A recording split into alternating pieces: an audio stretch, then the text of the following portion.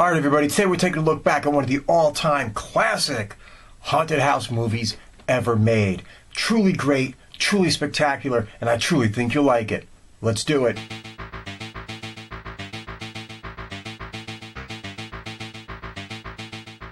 All right, today we're taking a look back at 1980's The Changeling. Not Changeling with Angelina Jolie, but The Changeling with George C. Scott. One of the best Who goes there movies you will ever see. But before we go any further, as always, to the trailer.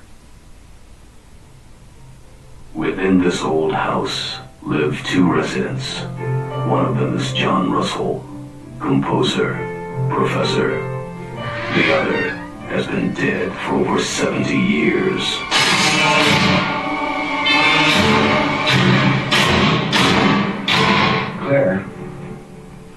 I'd talk to you about the house.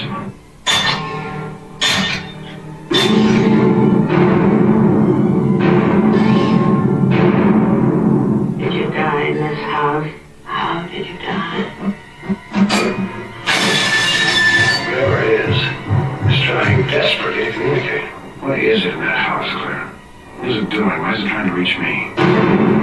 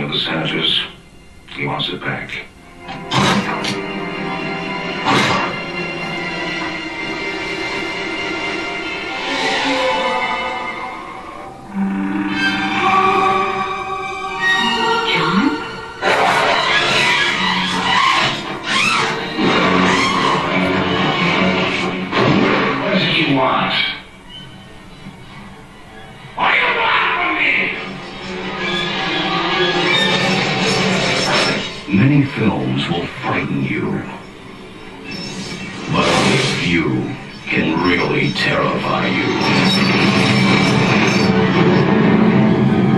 The Changeling, an experience beyond total fear. Okay, this incredible motion picture was directed by Peter Medak. Now, he's done some other really cool stuff. He did The Ruling Class, he did Species 2, uh, Zorro the Gay Blade, but he mostly did TV stuff. You know, South Beach, Breaking Bad, China Beach, Magnum PI, Heart to Heart, uh, Remington Steele, things like that. So, he had a good directing career, a lot, a lot, a lot of TV work, a few motion picture titles you'll know. It doesn't matter. He did this, and God damn it, that's all that matters here. Okay, playing John Russell is George C. Scott. And if you don't know who George C. Scott is, you better be under friggin' 30 years old or you better have been living under a rock. I mean, why would you even be here if you don't know who George C. Scott is? I mean, come on, man, the guy is a legend. We are talking, of course, Patton. We are talking about stuff like The Hustler and Doctor Strangelove and uh, Hardcore and The Hindenburg and Day of the Dolphin, uh, The Flim Flam Man, uh, Exorcist 3. I mean, he was in a bunch of cool stuff. Great, great actor. And I, I got to do Hardcore one time because that was really, really a good, dirty, friggin' grimy grindhouse type of a flick that deserves to be looked back upon and is often criminally forgotten, by the way. But George C. Scott, legendary. Even if he only made Patton, it was gee, whatever. Let's keep going. Okay, playing Claire Norman was Trish Van Devere. Now she was George C. Scott's, I think, fifth wife or fifth marriage anyway. I think he had four wives before, but three wives and four marriages. Who the hell knows? But she was his last wife and was with him all the way to the end. They were married for a really, really long time. And being that, they did several movies together. Anyway, obviously they were together in this, but she was in other stuff. She was in stuff like uh, The Last Run and Messenger of Death and Day of the Dolphin, you know, with Mr. Scott. Uh, One is the Loneliest Number, uh, Where's Papa? She was on TV and stuff like uh, One Life to Live and The Fall Guy and The Love Boat and Highway to Heaven and all that kind of crap. But she was also in another great, great, great schlocky type of flick that we will be covering here sooner or later at some point, and that is The Hearse, which is a criminally forgotten but completely awesome flick that you know we will cover at some point or another.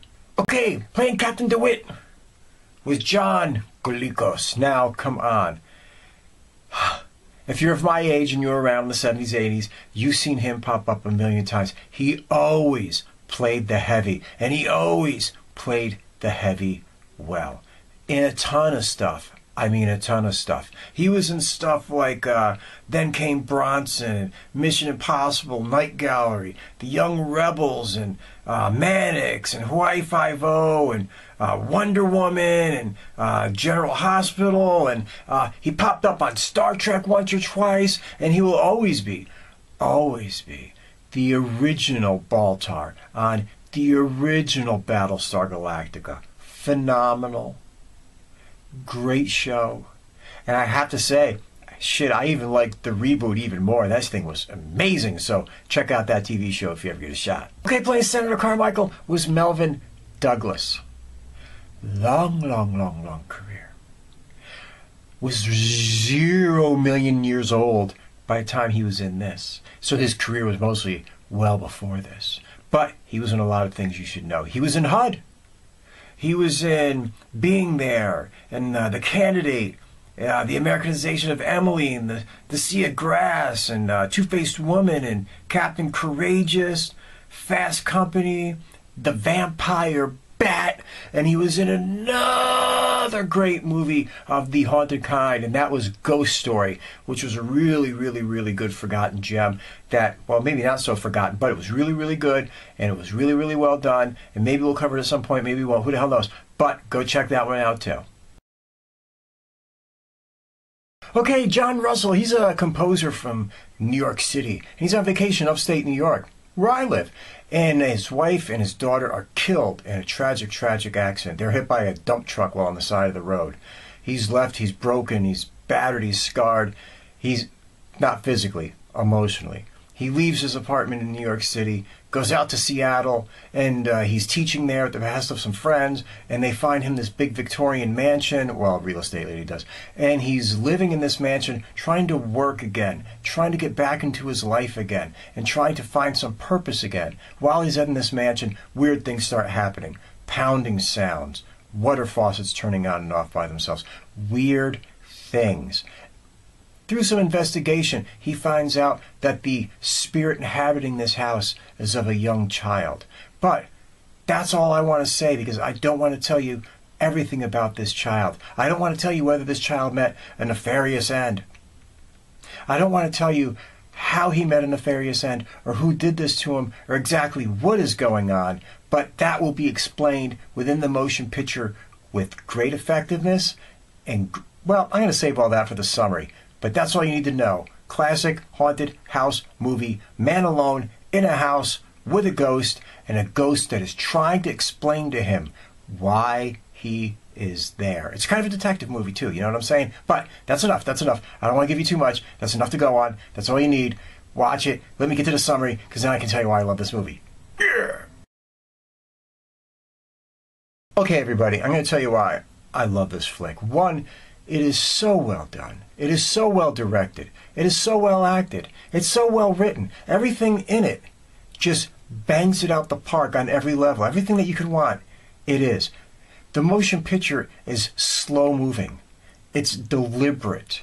It's loaded with atmosphere. It never breaks from what it is. There's never a joke or there a moment of levity. There's shit, basically no moments of joy in this whole motion picture. It is literally eerie and odd. And the camera angles that the director uses in this motion picture are also very odd. You feel like sometimes George C. Scott is being watched from either a child's point of view from a, from above, being looked down, or the angles are usually shooting up at an angle. So it's like it's just filmed in a very weird way for a lot of it. Not all of it, but for a lot of it.